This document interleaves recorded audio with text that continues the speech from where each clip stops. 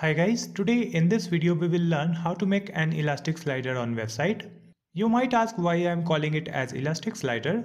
So you can see when I try to change the slider image, it creates a pattern just like I am pulling an elastic band. This elastic pattern transition looks very beautiful while changing the slider image. We will learn to make this elastic style image slider in just few minutes in this video. So please hit the like button and subscribe to my channel Easy Tutorials if you are new on my channel. Now let's start this video. Here I have this folder called elastic slider and in this folder I have one index.html file, one style.css file and one more folder where I have four images that I will be using in the slider. Now I will open my code editor which is brackets editor.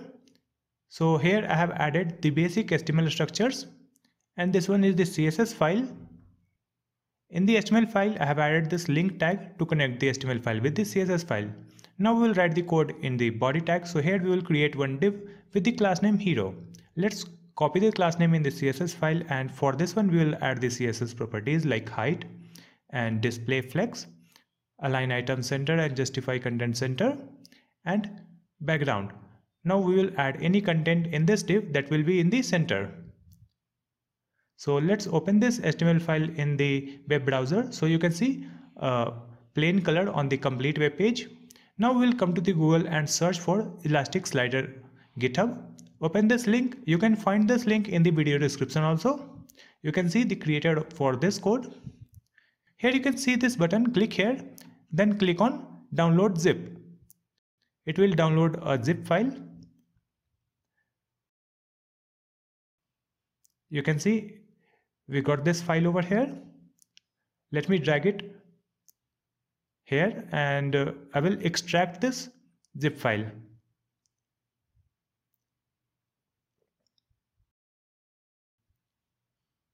Here it is. Let's delete this one.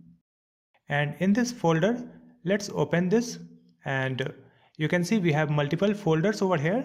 So we will go for this one dist. You can see this. In this dist folder we have multiple files.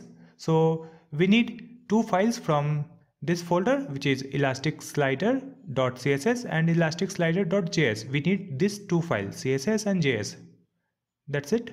So just copy this one and come to our project folder and paste it over here so we have added this two file in our project folder. After that, let's come back to the downloaded folder again.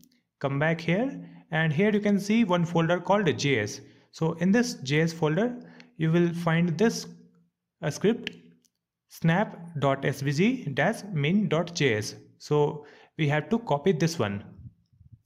So just copy this one and add it in the project folder. That's it. So we have added these three files in our project folder, which is elasticSlider.css, elasticSlider.js, and snap svg min.js. Let's come back to the HTML file and here we will connect all these three files. So first we will connect the CSS file. For that I'm adding link, rel, stylesheet and href and the file name which is elastic slider.css. So we have connected the CSS file. Next we will connect the other scripts. So here we will write the script src and the file name. So the file name is elasticslider.js.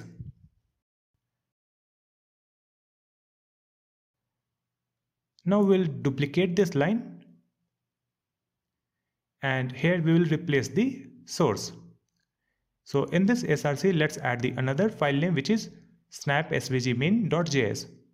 So we have connected all the three files that we have copied in our project folder, which is Elastic Slider CSS, Elastic Slider JS, and Snap SVG min JS. After that, come to this GitHub link again and scroll down and here you can find this code. So just copy this one from this div start to close. Let's copy this one and add it in the HTML file. So we will add it here. Let's come back again and we will copy this script and we will add this at the bottom just before the closing body tag. We have added it here Now we have to add some CSS also that we will copy from the GitHub. So let's copy this style. Just copy this one and we will add this style in the head tag. So in this head tag, we will add this style like this. So after adding this, let's refresh the web page. After reloading the web page, you can see one gray color box in the center, but there is no image. So let's come back in the HTML file. Here you can see we have this ID image 1 2 3 let me add one more. We will add four images. So we have four IDs here. Image 1 2 3 4 so we will add image for this div. So just copy the first one. Add it here in the css file and here we will add background image and url and we'll add the image file path. So it is in the images folder then image file name which is a.jpg so we have added one image in the first div. Let's duplicate this one and we will change the image file name and the id which is image2 let's duplicate it again. And here we will add image 3 and image c.jpg then we will add the fourth one image 4 and the image file name it is d.jpg so we have added four different images. After that we will refresh the web page and you can see these images on the web page and you can see the slide is also working and you can see the elastic band effect when I am changing the slide. But still we need to change the size of this div. So let's come back and we will copy this one hero and let's copy this elastic slider add it here. And here we will add cursor. It will be grab. And let's add width 900 pixel and height 600 pixel.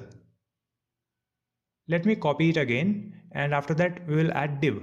For this div let's add uh, background size cover. And background position center.